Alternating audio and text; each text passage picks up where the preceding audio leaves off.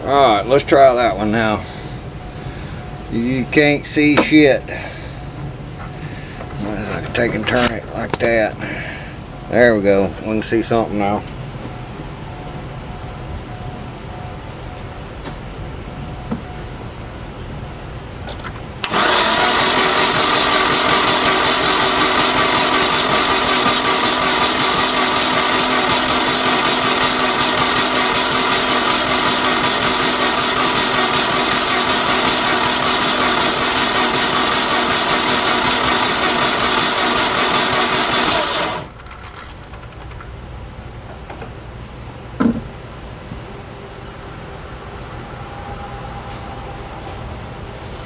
By God, there's something coming out somewhere. I just don't know where. I have to go back and review it.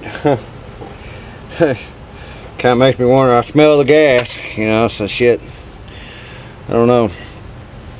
But I did. I, I put oil on top of every one of the lifters. They were bone dry. But it seems to be picking up a little bit now. Uh, it wasn't even twitching any at all. So I'm getting some on the back now.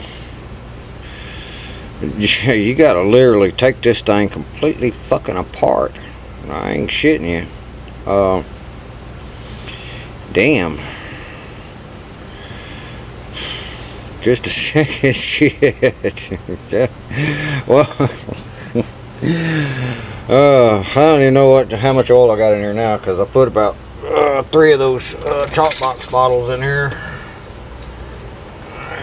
so I'm actually a little over. Hell, I ought to put more than that. I ought to put a quart in there, go quart over. I can get it out of there. No problem. All right, y'all.